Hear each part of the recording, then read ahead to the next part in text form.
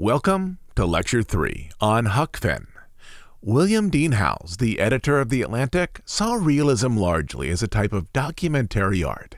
It was a way to present an accurate vision of American life to those living overseas and to preserve that vision of contemporary American life for later generations. It was also a way for Americans to understand various geographic cultures within the growing United States. Through realism, readers in Boston might understand life in the far west, such as in Nevada or California. Likewise, readers in New York might understand the lifestyles of people with a Creole or Cajun background living in or around New Orleans. Likewise, readers in Louisiana might then understand the tensions and opportunities of New York City by reading works of American realism set there. Realism was also a way to depict the pluralities of geographic culture within the country. Writers, in effect, stood in as spokespeople for one or at most two regions. The author, Kate Chopin, became a literary ambassador through her fiction for life in New Orleans. Jack London became a literary ambassador for the experience of Americans living in the far western part of the country. Mary Wilkins Freeman became a literary ambassador for rural New England. Their fiction was written in such a way as to translate and explain the customs and traditions of one region to an audience that was living in a different region. This was called regionalism, in which literary works represented the culture of one region. But beyond presenting and preserving a more accurate version of American life, many authors saw another social value inside of realism. Part of this has to do with a belief about art that we mostly no longer believe today.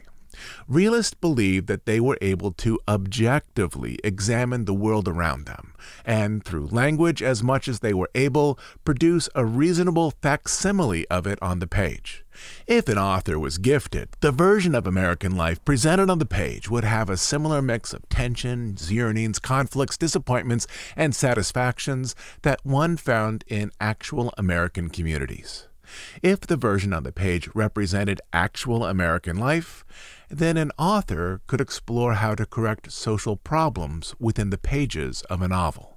Let's take a contemporary example to understand how this might work. Let's say that there's an author who wants to write a novel of realism about the plight of homeless people. And I should put this qualifier up front it's not possible for a work of literary realism to be written in the way it was in the 1800s for reasons we'll discuss in a later lecture. But for right now, let's put that concern aside. Let's say that there's an author who is going to write about the plight of a long term homeless community. And as part of this novel, the author would like to explore barriers that exist toward bringing this homeless community into employment. In a novel of realism, so long as the author accurately understands the characters and the situation, the work of fiction should then create a document that identifies the most significant barriers that people in this community would face while trying to re enter employment. A novel like this could then be used as a teaching tool to identify and remove barriers in the real world. Such a novel could also be used to create empathy and understanding for people who are homeless and the struggles they face re entering the workforce. Again, using this type of fiction all of this diagnostic work could be accomplished on the page rather than in actual social situations. But from our post Freud 21st century perspective, there are clear limitations and blind spots with this approach to using fiction as a means of diagnosing and understanding social problems with an eye toward improving society. But this exact construction underpins a good deal of American fiction produced during the period of realism. In this novel, Mark Twain wants to create a character whose life from an early age has been influenced by some of the most vile forms of racism in America. And then this novel wants to ask the following two questions. What would it take to change a young person raised in this environment? And after being inculcated with this type of cultural racism at a young age, how much could this character change under ideal circumstances? Or to put this in straightforward terms, Huck has been raised in a racist environment.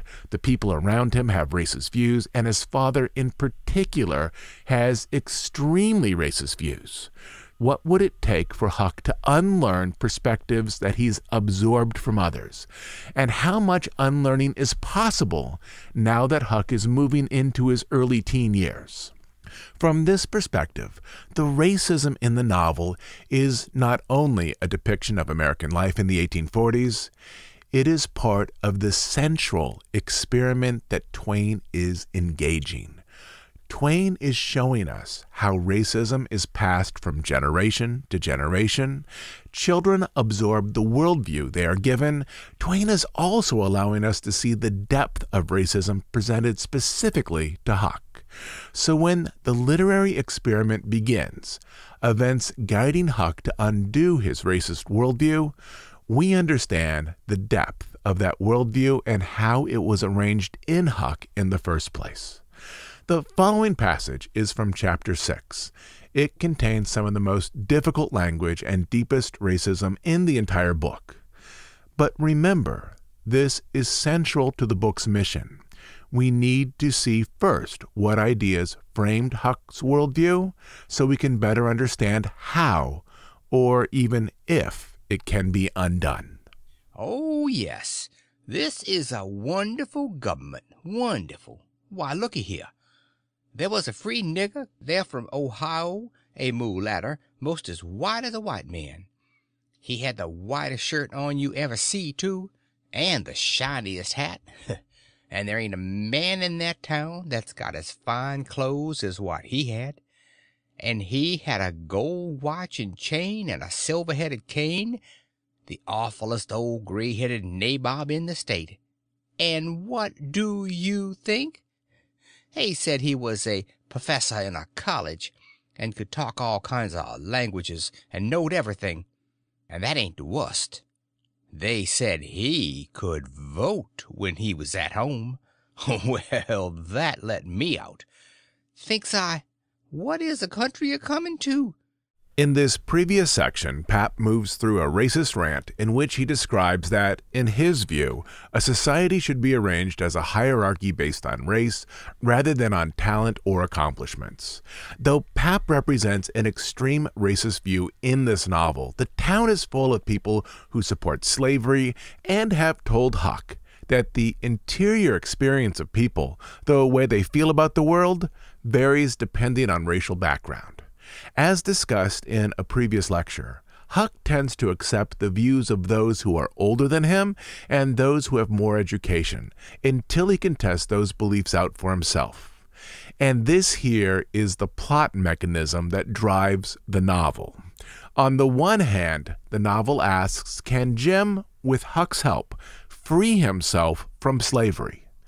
And on the other hand, the novel asks if Huck, with Jim's help, can free his mind from the racist influence of the pre war South. In the early sections of the novel, it's clear where Twain believed his novel was going. Huck would help Jim find literal freedom, and Jim would help Huck free his mind from the racist influences around him. The process of educating Huck, or of Huck unlearning damaging concepts he had previously absorbed, begins fairly early in the story. The first lesson that Huck receives from Jim, arranged again with some touches of humor, asks Huck to consider why some people have freedom and other people are seen as property, people to whom a dollar amount is fixed. Again, the lessons here are light, but they begin a larger discussion as the book moves forward. In this section of Chapter 8, Jim tells a story about how he has loaned out 10 cents to a friend who invested it in a church offering plate after the minister said that anyone who gave money or lent money to the poor would no doubt find that their money would be returned 100 fold. But Jim quickly learned that despite his friend Balaam's so called investment, he wasn't getting any money back. Nothing came of it, Jim said, and I couldn't manage to collect that money no way. And Balaam, he couldn't. And I ain't going to lend no more money without I see the security. Bound to get your money back a hundred times, the preacher says. If I could get the 10 cents back, I'd call it square and be glad of the change. Well, it's all right anyway, Jim, long as you're going to be rich again sometime or other. Yes, and I's rich now. Come to look at it, I owns myself, and I's worth $800. I wish I had the money. I wouldn't want no more. And it is that last part, how Jim is forced to see himself as a commodity, as something with a fixed value far different from how Huck sees himself, that Twain is beginning to wedge into the materials of this novel. One of the next sections in which Huck is educated by Jim comes in chapter 14. Huck and Jim are having a discussion about what separates Americans from the French. But the subtext here is something of greater weight. What separates white people in America from African Americans? Huck presents the idea that people have differences based on where they're from. But then Jim presents the idea that the correct way to look at all humanity is that people are essentially the same and they should be viewed that way. Again, there's humor here. But in this section, again, Twain is starting to place larger ideas into the novel. I'll pick up the scene as Huck and Jim are discussing why French use language different than Americans. Shucks, Huck said, it ain't calling you anything. It's only saying, Do you know how to talk French? Well, then, why couldn't he say it? Why, he is a saying it. That's a Frenchman's way of saying it. Well, it's a blame ridiculous way, and I don't want to hear no more about it. They ain't no sense in it. Looky here, Jim. Does a cat talk like we do? No, a cat don't. Well, does a cow? No, a cow don't neither. Does a cat talk like a cow or a cow talk like a cat? No, they don't. It's natural and right for them to talk different from each other, ain't it? Course. And ain't it natural and right for a cat and a cow to talk different from us? Why, most surely it is. Well then, why ain't it natural and right for a Frenchman to talk different from us? You answer me that. Is a cat a man, Huck? No. Well then, there ain't no sense in a cat talking like a man. Is a cow a man, or is a cow a cat? No, she ain't neither of 'em. Well then, she ain't got no business to talk like either one of them. Is a Frenchman a man? Yes. Well then, dad blame it. Why don't he talk like a man? You answer me that. Just one chapter later, Jim becomes far more confrontational with Huck in terms of requiring him to see the world from a different vantage point. In this sequence, Huck and Jim are traveling at night on the river lost in the fog. Jim is on the raft and Huck is in the canoe. They are looking for Cairo to take a ship up to the Free States, but they miss the city. We've talked about this section earlier in our lectures. Early American authors can at times use symbolic images in a heavy handed way. For example, in Young Goodman Brown by Nathaniel Hawthorne, the main character is concerned about losing his religious faith, but he's also worried about losing his wife, who is also named Faith. There's nothing particularly subtle there. But Twain has a softer hand in terms of placing symbolic elements into his stories. In this sequence, Huck is by himself as the fog comes down around him, and because of the fog, he doesn't know how to proceed forward. Let me ask you this. In the 1840s, how many colors does fog come in? I know now you go down to the rave and you can get purple fog. But back in the 1840s, how many colors did fog come in? Just one, right? You might think of it as ash or white or light gray. So if there's just one color of fog, why does Twain go out of his way repeatedly to tell us that Huck is lost in the white fog? Not only the white fog, but the solid white fog. Twain here has found a moment where the actions in the drama mimic the underlying conceit of the novel. Here, Huck is, of course, lost in the white fog on the river. But on a figurative level, Huck as a character is lost in a different type of solid white fog. The fog of whiteness or of being Caucasian, the white fog of the Old South, the fog of white values, and so on. And in terms of symbolism, the book is suggesting that this whiteness is causing Huck to lose his way, to be unable to see the world around him with clarity. This is from chapter 15. As soon as I got started, I took out after the raft, hot and heavy, right down the towhead. That was all right as far as it went, but the towhead weren't 60 yards long, and the minute I flew by the foot of it, I shot out into the solid white fog, and I had no more idea which way I was going than a dead man. In terms of a symbolic read, the novel is asking the question what will it take for Huck to see the world around him with clarity, to leave the blinding whiteness that is pervasive in this part of the country? And the novel begins to answer this question when Huck returns to the raft. Huck initially plays a trick on Jim, telling him that many of the events he remembered were part of a dream. Once he convinced Jim of this dream, he then pointed to the debris on the floor of the raft so that Jim would feel foolish once he realized that he had been duped. But this goes poorly for Huck. It had clouded up pretty dark just after I got on to the raft, but it was clearing up again now. There's our first signal. The cloud of whiteness figuratively is about to be lifted as the scene moves forward. Oh, well, that's all interpreted well enough as far as it goes, Jim, I says. But what does these things stand for? It was the leaves and rubbish on the raft and the smashed door. You could see them first rate now. Jim looked at the trash, and then looked at me, and back at the trash again. He had got the dream fixed so strong in his head that he couldn't seem to shake it loose and get the facts back into its place again right away. But when he did get the thing straightened around, he looked at me steady without ever smiling, and says, What do they stand for? I's gwine to tell you.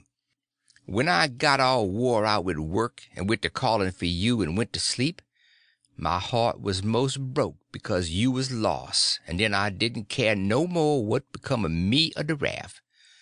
And when I wake up and find you back again all safe and sound, de tears come, and I could a got down on my knees and kissed your foot, I so thankful. And all you was thinking 'bout was how you could make a fool of old Jim with a lie. That truck there is trash, and trash is what people is that puts dirt on the head of their friends and makes 'em ashamed. What Jim is saying here is this Huck, the people in St. Petersburg have given you one way to look at the world. Using this, they have told you who is on top and who is the trash at the bottom. But, Huck, I'm going to give you a different way to view people. People should be judged by their actions. The people at the bottom of society are those who don't consider the feelings of their friends. They are people who amuse themselves by making fun of others. Huck, the world isn't arranged as Pap saw it. It's instead arranged around a sense of decency and mutual support. And in this other system, Huck, you are at the bottom of society. You are that trash. In this, Jim is inverting the system of social hierarchy that Huck has absorbed through Pap and others. Then he got up slow and walked to the wigwam, and went in there without saying anything but that. But that was enough. It made me feel so mean I could almost kissed his foot to get him to take it back. This is the beginning of Huck's education. It's also the beginning of Mark Twain's education as well. It seems clear that early on Twain felt that his novel would have a strong character arc in which Huck overcame the racist views of his hometown and challenged ideas of slavery. But here's the other side of realism characters can only act in a plausible way in a book of literary realism. We've already discussed that Huck Finn was based on a person Mark Twain knew while he was growing up. As Mark Twain wrote the novel, in some form, he presented himself with this question. How would Huck respond in these moments if Huck were a real person?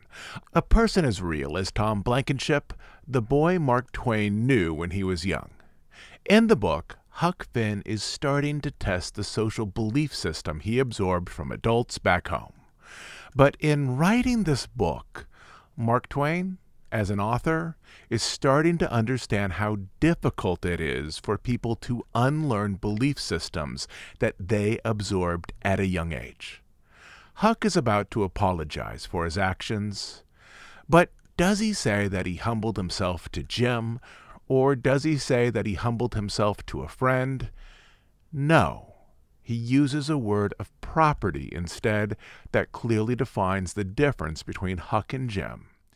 He was fifteen minutes before I could work myself up to go and humble myself to a nigger, but I done it, and I warn't ever sorry for it afterwards neither. I didn't do him no more mean tricks, and I wouldn't have done that one if I'd a knowed it would make him feel that way. In this, Mark Twain is starting to understand how difficult it will be for Huck to absorb the type of large change he had likely imagined for him at the start of the novel, as characters in a novel of realism must act in a way that corresponds to how people act in the real world. Mark Twain is starting to teach himself the difficulties of undoing a racist worldview when it has been absorbed at a young age. In terms of an ideal experience for change, it's not just that Huck and Jim are isolated on a raft. There's another important element here that is priming Huck for change, the type of change that feels like it contains a deep authenticity. And it's something that I think most college students can relate to.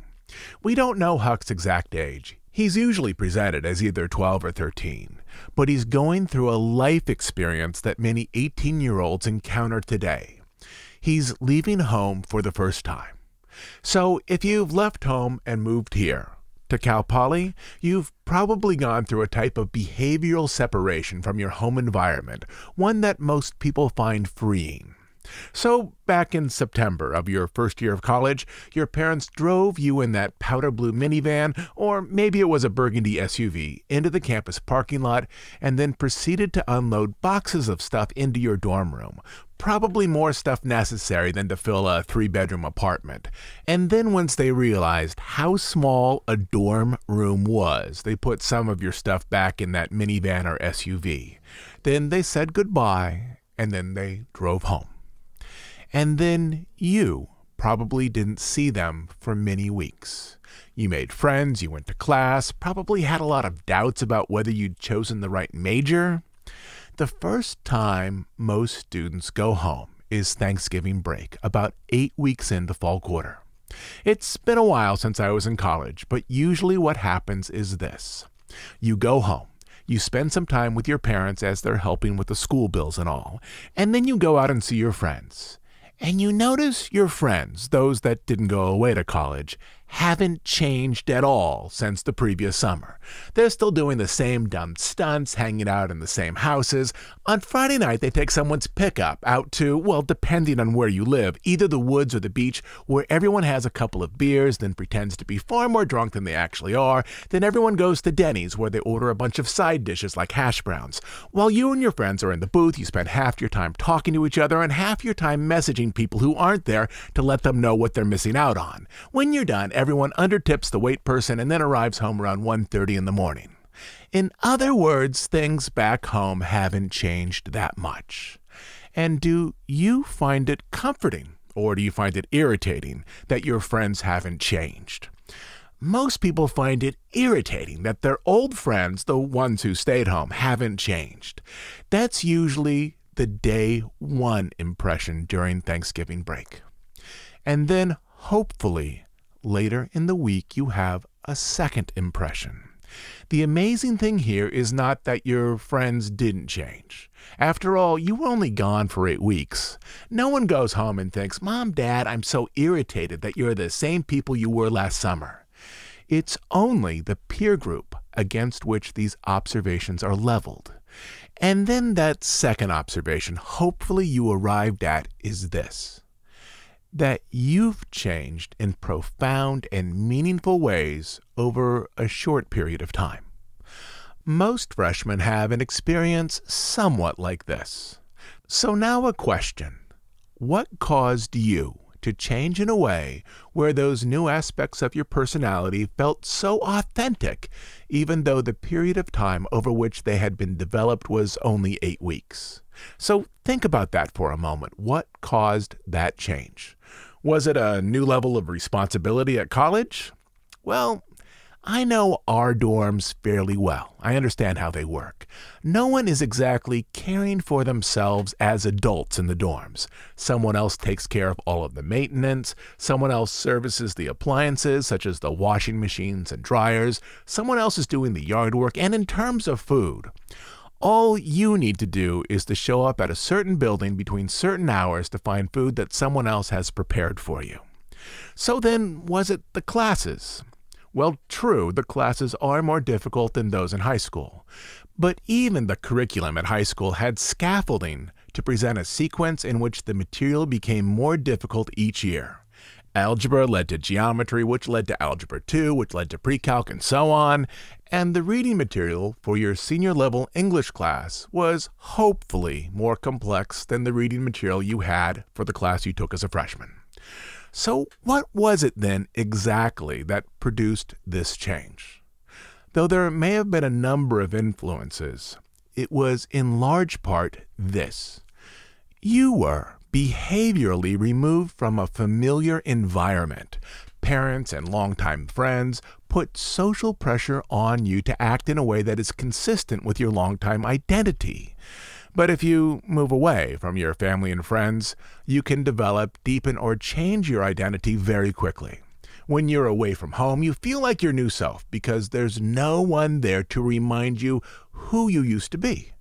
And when you go back home, often for years, you may feel as though you are falling into a much younger version of yourself. For example, when you go home now and hang around with your family and friends, how long does it take for you to feel as though you are 17 or 18 years old again? The journey to establish your new adult self in the surroundings of your childhood home may take years, and that's okay. And that's what many people move through. But here in our novel, this is also what Huck is experiencing. He's not 18 years old, he's not a college freshman, but he is away from his family and friends for the first time in his life. Here, his personality is opening and expanding over a short period of time, just as yours did when you first came to college. Most everyone accepts the worldview they are given from parents or their community when they are young. At this point in Huck's life, he is beginning to examine if the belief system he was given matches how he sees the world. And again, maybe this is part of your experience in college as well. While these characters are on the river, we can see Huck's thought processes as he unlearns things that he had absorbed from his community. We can see this as he moves downriver, and I'd like you to consider Huck's vantage point for the following passage. These are not racist observations that Huck is making. This is the moment by moment experience of Huck challenging the racist worldview he'd received while growing up. This is from chapter 16. Jim talked out loud all the time while I was talking to myself. He was saying how the first thing he would do when he got to a free state, he would go to saving up money and never spend a single cent. And when he got enough, he would buy his wife, which was owned on a farm close to where Miss Watson lived. Then they would both work to buy the two children, and if the master wouldn't sell them, they'd get an abolitionist to go and steal them. It most froze me to hear such talk. He would never dared to talk such talk in his life before. And this, a little later, is from chapter 23, so we can see how Huck's outlook is maturing. I went to sleep, and Jim didn't call me when it was my turn. He often done that. When I waked up just as daybreak, he was sitting there with his head down betwixt his knees, moaning and mourning to himself. I didn't take notice nor let on, I knowed what it was about. He was thinking about his wife and children way up yonder, and he was low and homesick because he had never been away from home before in his life. and I do believe he cared just as much for his people as white folks do for theirn. It don't seem natural, but I reckon it's so. He was often moaning and mourning that way nights when he judged I was asleep and saying, Poor little Elizabeth, poor little Johnny, it's mighty hard. I suspect I ain't ever gonna see you no more, no more. In this passage, you can see that comparison directly. Huck has been told by Pap and many others in St. Petersburg that race underpins how people experience the world. But here, through his own observation, he is privileging his own conclusion over those proposed by adults back home. He is rebuilding his worldview based on personal experience. And as before, this too is often part of the college experience. Are there things, for example, that you have personally observed in the world that don't match how people back home told you the world would work? And if so, whose voice in your head is louder? The voice tied to your own observations, or the voice tied to authority figures from your youth? Twain is suggesting that this is part of the process, at least for Huck, of removing racism from the world, specifically rebuilding or perhaps more accurately, partially rebuilding your worldview and value system based on your own observations and ideals in which you choose to believe, rather than by accepting the value system you were given wholly at birth. This is the concept of social progress, that each generation is able to improve itself a little over the previous generation. But it's a process that requires introspection, observation, openness, and reflection. By this point in the novel, Huck is starting to see Jim as someone who is co equal to him, at least in terms of emotional and personal experience, though perhaps not in legal standing. These experiences prompt Huck to ask Jim about his family. Then Jim tells the story about how his daughter lost her hearing and his deep sense of grief and regret over it. At this point, we're moving towards some interesting social questions in the novel.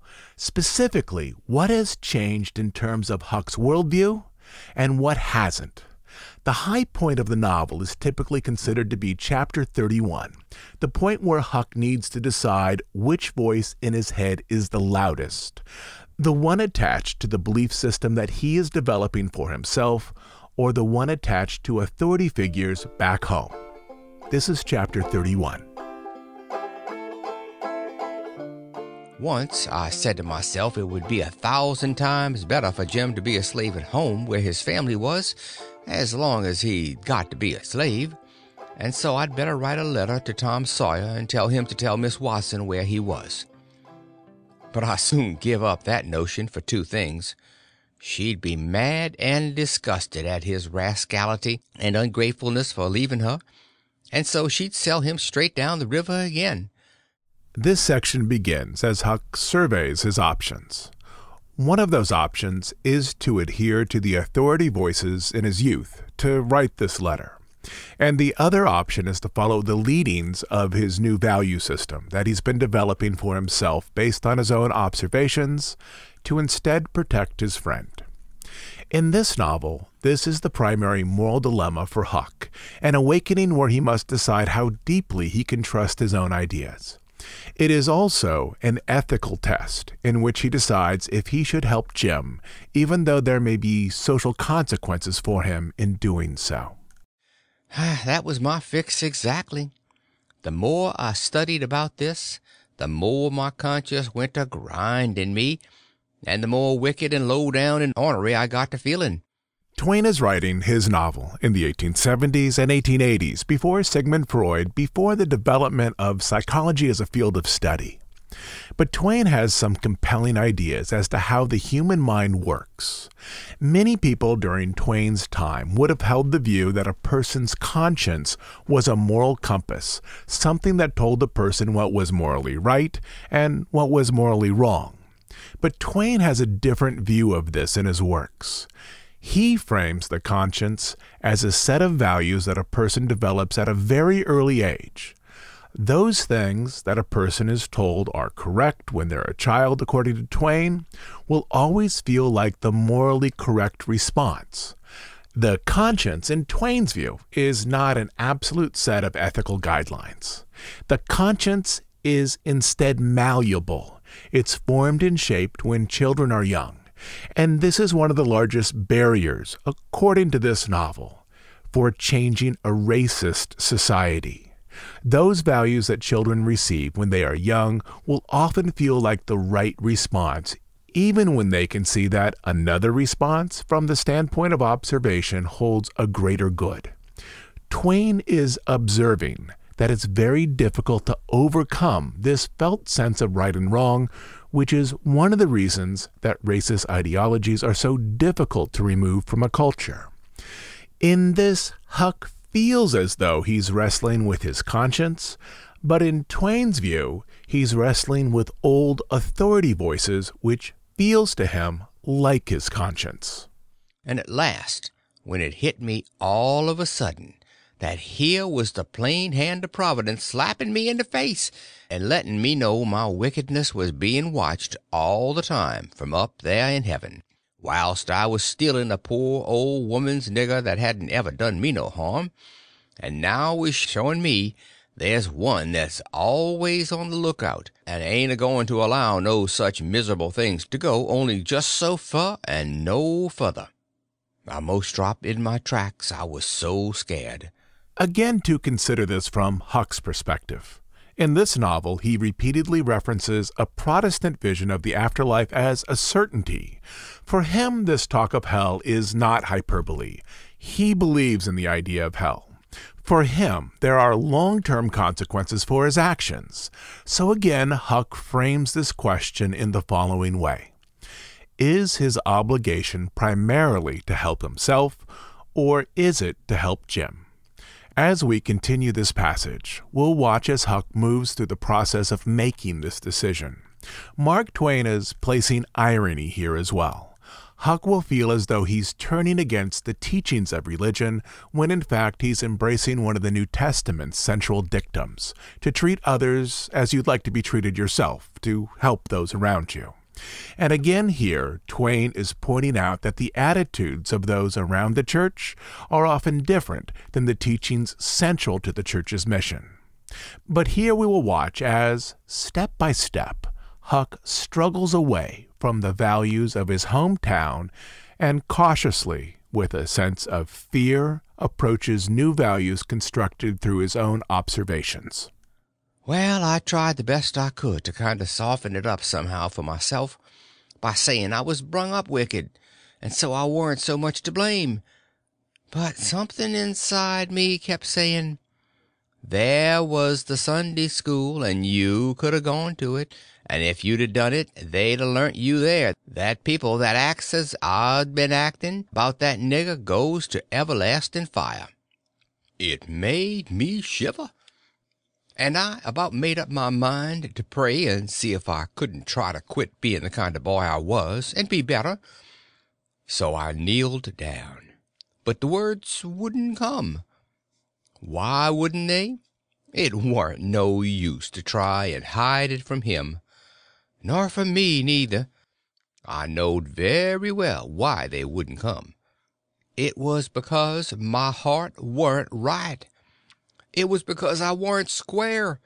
It was because I was playing double. I was letting on to give up sin, but away inside of me I was holding on to the biggest one of all.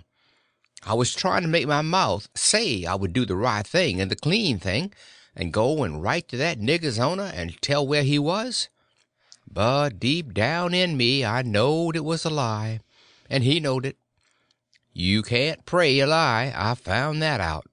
Here is one way to look at character development inside of the novel. In many novels, characters are moved to a point where they can express who they really are. In this novel, it's wrapped up in the idea of prayer. Huck can't pray a lie. In the mindset of prayer, Huck can only express the truth of who he is. The novel has been pushing him to publicly express his inner truth which will separate him from the other characters. Around Huck are frauds. The king and the duke conceal the truth of their being. They are con men who construct false personas to conceal their intentions so that they might profit off of others. Huck is struggling toward a type of authenticity. For him, that authenticity means that he needs to undo some of the damaging ideas he's absorbed earlier in his life. And to touch on a sub theme in today's lecture, this is often part of the college experience, of being away from family, of being to some degree on your own. College, in addition to learning skills that will prepare you for life and a career, can also be about moving yourself over years to a point where you publicly speak the truth of who you are. And like Huck in this process, maybe there's a few steps forward followed by a couple back before you find inner confidence. Huck is at that point here, that point of inner conflict. From here, Huck, full of trouble, will write a letter to Miss Watson, but then, with the letter beside him, the one that would send Jim back into slavery, he thinks again about the ideas inside of him. And got to thinking over our trip down the river, and I see Jim before me all the time, in the day and in the night time, sometimes moonlight, sometimes storms, and we a floating along, talking and singing and laughing. But somehow I couldn't seem to strike no places to harden me against him, but only the other kind. I'd see him standing my watch on top of his'n, stead of calling me so I could go on sleeping, and see how glad he was when I come back out of the fog. And when I come to him again in the swamp up there where the feud was, and such like times, and would always call me honey and pet me and do everything he could think of for me, and how good he always was, and at last I struck the time I saved him by telling the men we had smallpox aboard, and he was so grateful, and said I was the best friend old Jim ever had in the world, and the only one he's got now. And then I happened to look around and see that paper. It was a close place. I took it up and held it in my hand. I was a trembling because I'd got to decide forever twixt two things, and I knowed it. I studied a minute, sort of holding my breath, then says to myself, all right, then. I'll go to hell. And tore it up.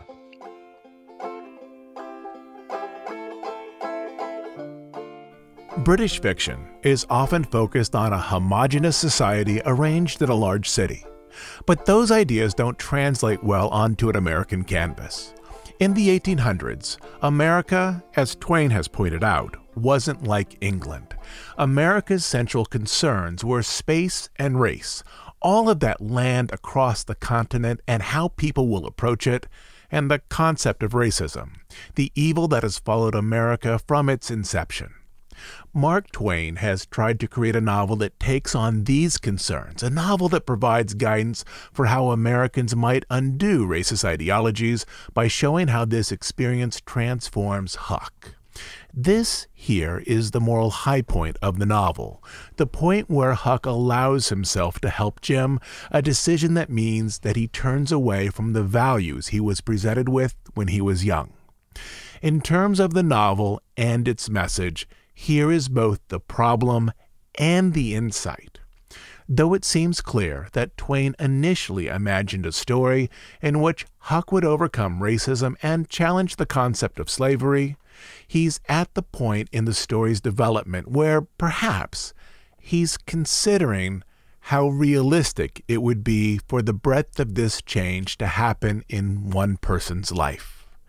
In this, Twain is starting to understand, through the act of writing this novel, the complex problems of cultural racism, and is suggesting a different timeline to undo long term damage, damage that initially he seems to have believed might have been undone, for Huck at least, on the river. And that, I think, those realistic markers for undoing the damage of racism through a process is the novel's larger message for us today. And we will talk about that some in the next lecture.